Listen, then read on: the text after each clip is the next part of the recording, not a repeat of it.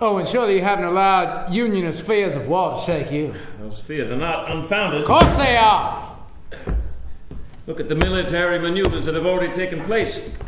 Georgia troops seizing Fort Pulaski, Florida troops seizing a federal arsenal. Well, that's mere reorganization. This reorganization took place before Florida and Georgia even seceded. The Montgomery militias were drilling before Alabama seceded. There's nothing wrong with a few military exercises. Reasonable minds would see preparation for war, and we are at a definite disadvantage. Uh, Owen, Owen, Northerners are too miserly to finance a war, and they're too chicken-hearted to do battle with us. I have been in the company of Northern men on several occasions, and I don't recall anything in their manner suggesting an aversion to war. Well, don't you forget that I went to school up there. I am more familiar with the ways of Northerners. And besides, even if we were to go to war, we have got God on our side. What we have got is a weak industrial base and too few foundries to produce arms. But the North wouldn't want to risk its cotton supply. No, it would not. King Cotton will command world trade. You're putting too much stock in cotton. The North has the power to strangle us with blockades. But if the North were to place blockades, it would ruin Europe's textile mills. Then the Europeans would have to come to us for their cotton. Now, you just listen to him, Owen. Just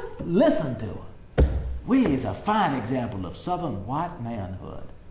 Young man, you exhibit maturity beyond your years.